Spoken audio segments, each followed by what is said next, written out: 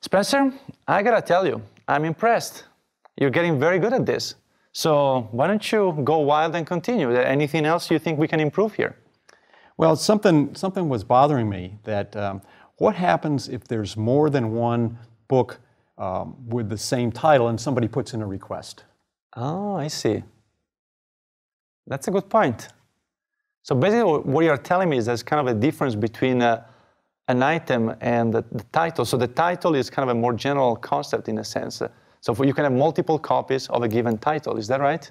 Yeah, we, we have five copies of Tom Sawyer, and the person's, the patron's really putting in a request for any right, right. Tom Sawyer. They don't want like copy number three of Tom Sawyer, right? They that's, want that's they right. want to read Tom Sawyer. Okay, I, I can represent that.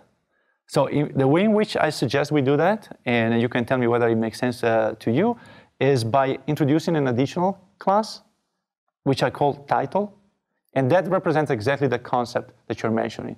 So this uh, is a title which represents uh, some specific content that is not related to a specific uh, physical element, but can be related to multiple physical elements. So basically, I'm going to create this title, and then I'm going to create a relationship between the title and, and the item.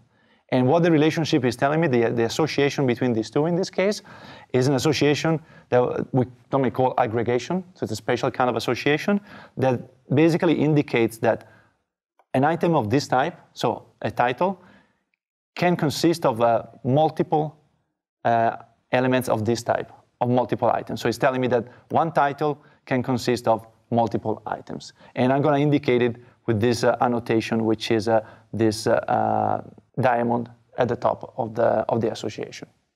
And so, and so we, can, we can move our request line up from loanable item to title because that's what they're really requesting. Definitely, definitely. And in, in fact, you know, that represents exactly the situation that you were mentioning. At this point, uh, when the patron makes a request, uh, it makes a request uh, to a title and not to a loanable item. And then, and then when the actual loan will take place, then that will be connected to a specific uh, item. Right.